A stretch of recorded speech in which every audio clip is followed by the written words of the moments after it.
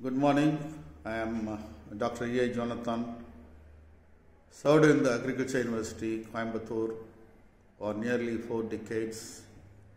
I started my career as assistant professor during the year 1978 and uh, subsequently as associate professor, professor, head of the Department of uh, Nematology, and uh, finally as director, Center for Plant Protection Studies, Tamil Nadu Agriculture University, Coimbatore.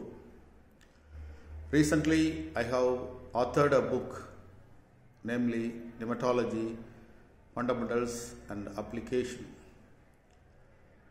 Regarding plant parasitic nematodes, they are complex, diverse group of organisms that occur worldwide in all environments.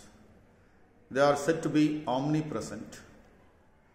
The worldwide crop loss due to nematodes are more than 90 million dollars.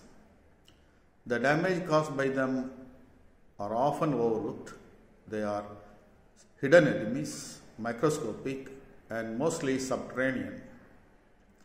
The recognition of nematodes as a serious crop pest was felt in India only during 1962 when Dr. Jones, a German scientist, observed the, the menace of the nematodes in the Nilgiris in potato crop. That is the potato cyst nematode. Later on, the awareness came and uh, we started observing the problem in many important horticulture and agricultural crops. And uh, since the subject, plant nematology, is uh, very in the early stage and uh, just it's about uh, 50 years old, whereas entomology, plant pathology are known several centuries back.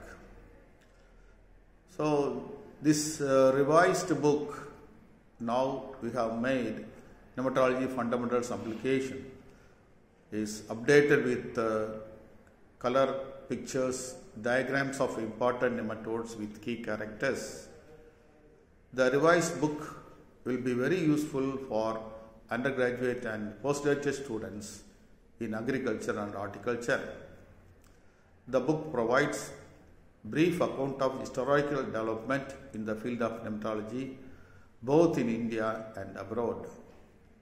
The details on nematode morphology, anatomy, and taxonomy are provided in the book.